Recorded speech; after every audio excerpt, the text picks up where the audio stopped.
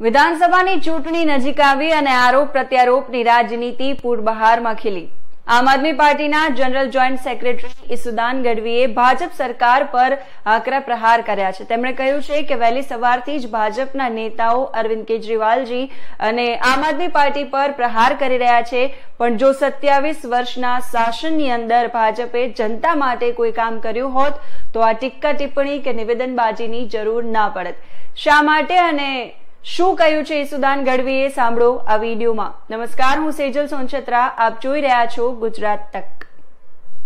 અરવિંદ કેજરીવાલજીની દ્વારકામાં સભા થઈ અને ત્યારબાદ જે ગુજરાતમાં પ્રતિસાદ મળી રહ્યો છે, તેનાથી ભાજપના નેતાઓ બોખલાઈ ગયા છે. ભાજપના નેતાઓ અરવિંદ કેજરીવાલજીને આમ આદમી પાર્ટીને આમ આદમી પાર્ટીના નેતાઓને ગાળો ભાંડી રહ્યા છે. મારે એમને પૂછવું છે કે જો સત્યાવીસ વર્ષમાં તમે જો વિકાસના કામો કર્યા હોત બેરોજગારીનો પ્રશ્ન સોલ્વ કર્યો હોત, શિક્ષણનો પ્રશ્ન સોલ્વ કર્યો હોત, આરોગ્યનો પ્રશ્ન સોલ્વ કર્યો હોત, રસ્તા, પાણીના પ્રશ્ન સોલ્વ કર્યા હોત, કર્મચારીઓના પ્રશ્ન સોલ્વ કર્યા હોત, તો તમારે અરવિંદ કેજરીવાલજીને ગાળો માનવાની જરૂર ન પડે.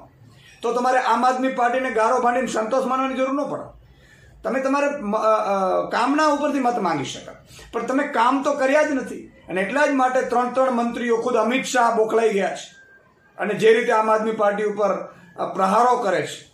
તમે વિચાર તો કરો, કામ કર્યું હોત ને તો આ દિવસો નો આવે. અને એટલા માટે જ અરવિંદજીએ બે હજાર ને વીસની ચૂંટણીમાં એવું કહ્યું હતું કે મેં કામ કર્યું તો મને મત આપો. ભાજપના એક પણ નેતાની જો તાકાત હોય તો જાહેરમાં ગુજરાતની જનતા પાસે એવું કહે કે અમે કામ કર્યું તો અમને મત આપે. જો તમારામાં હોય તો. તો તમારે આ આમ આદમી પાર્ટીને અમને ગાળો આપવાની જરૂર ના પડે. રાજનીતિ બદલી રહ્યા છે. યાદ રાખજો. તમે જે રીતે આમ આદમી પાર્ટીને અરવિંદ કેજરીવાલજી ઉપર જે પ્રહારો કરો છો ને જનતા જવાબ આપશે.